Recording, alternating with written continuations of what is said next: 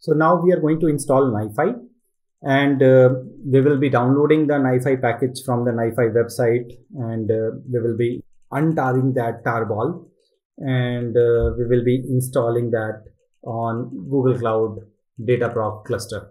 So let's go inside this Dataproc cluster and uh, let's install NiFi. So we'll do SSH and before I do SSH, I just want to let you know that we will be making use of this public IP of this uh, Dataproc cluster. So we will note down this public IP somewhere. So I'll just copy and uh, we will capture the public IP of this master machine. Let's go inside the cluster and let's see the master machine. So we have VM instances and here we will find we have this VM instance. We can go inside this and we can get the public IP from here. Because NiFi is having a user interface and we want to access that user interface, we will be able to do that only when we know the public IP of this and then we will give the port number along with the public IP. So this is the external IP.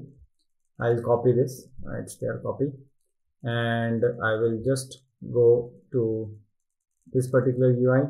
I will paste it here sorry. I will just go to the new tab and I will paste it here. I will not hit enter. I will it's just like I'm keeping it here for the time being. Later on everything is set up then we will access it. Yeah so later on everything is set up then we will access it. So now let's go inside the cluster and uh, so we will do SSH into this machine. So NiFi installation instructions are given along with this video. So you can just follow those instructions and you can get the commands from there. You can copy paste command from there. So very first command is to do wget of the NiFi package. So I will do it right away. So you can see we are just going to NiFi Apache down, Apache site and then we are downloading it from there.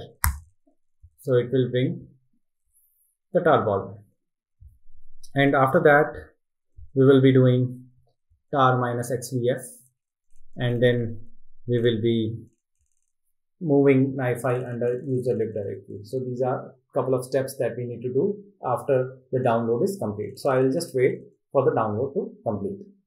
So you can see NiFi is downloaded here. So it's time to untar it and move it to the relevant directory. So let me do one by one. So let's let's do untar right now tar minus xvf and we'll just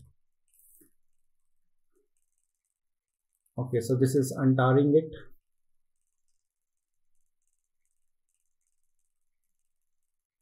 Now this is done. We will just move this into a specific directory nifi and uh, we will just move it to another directory okay? Uh, and then I will be moving this nifi directory into uh, slash user slash lib and under that yeah so this is moved now.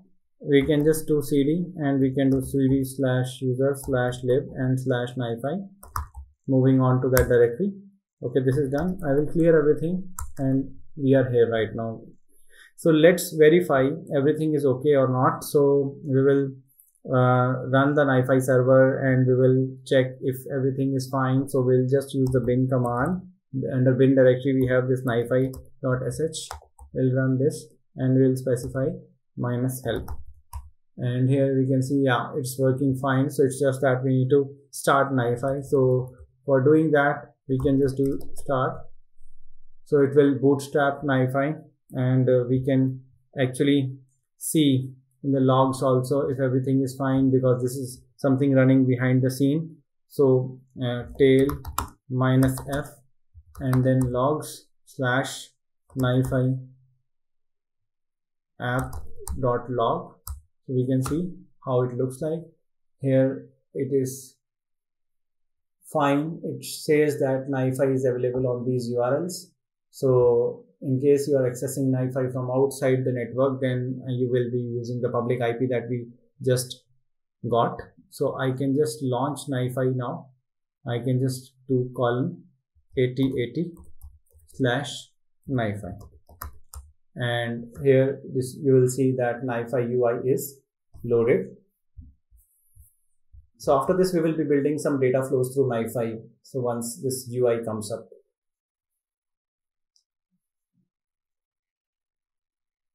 Okay, so we can see that NiFi is not working right now because uh, there is some port issue. It looks like some firewall issue. So let's fix that. So we will go here and we will uh, go to the VPC and uh, here VPC we have firewall rules. So under VPC network you will find firewall rules and we will create one new firewall rule for this 8080 port. So I will be writing here so NiFi NiFi and uh, so I'm just writing NiFi rule and uh, it's for port 0 a port 8080 so I'm not writing anything else right now. I'm just writing NiFi rule. And then description if you want to give you can provide that. And then you have other options. I'm keeping all defaults but I need to change this targets. All instances in the network. And then source IP I want to give my IP here. So I will say what is my IP? What is my IP? And I got this IP. I'll just copy this and I will paste it here.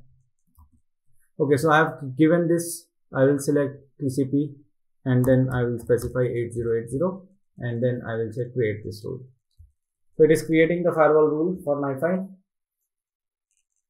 Okay, this rule is created now I will go back and I will just refresh it. So you have to be very careful when you are working with firewall rules because if you open firewall for all traffic then it will be problem. So now NiFi UI has been loaded. We will start building the data flow pipelines on this NiFi uh, after after this. Yeah. So hope you are able to do it. In case you face any issues, you can ask on Q&A forum.